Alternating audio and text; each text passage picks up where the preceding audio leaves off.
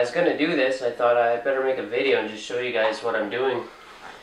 I'm uh, spraying my bag with some water repellent because I'm gonna go into a field and drop some deer food. And the grass is really, really high. It's it's higher than my waist, and so the bottom end of this bag is gonna get pretty wet walking through this grass. It's morning right now, and so there's a lot of dew still. So what I'm gonna do is this is uh, Kiwi water repellent uh, for your camping gear, for tents, boots, pants, jackets, you name it. Uh, it's heavy duty water repellent for just about everything. So I'm going to spray down my bag and I, I really should be doing this in a more ventilated area, but nobody's home right now so it's okay.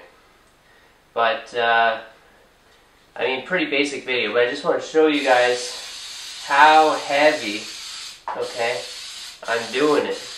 And you just want to, this stuff comes out pretty, pretty fast. It comes out pretty heavy. Uh, not worried about the back too much because it's against you, okay? And the, oh, oof. Yeah, the padding's really thick here, okay? What I'm worried about is the front, the sides, and especially the bottom. So we're just gonna Back up a bit. Keep hitting it. Right, the zippers aren't waterproof, so there's nothing really we could do there. And, and this isn't going to waterproof your gear, it's simply just going to repel the water. You know, the stuff you really can't control if you do get caught in the rain or you're walking through grass like I'm going to. Uh, the bottom though, if you do have to put the bag down to get your equipment, uh, you have no choice, you have to put it down on the ground, so you really want to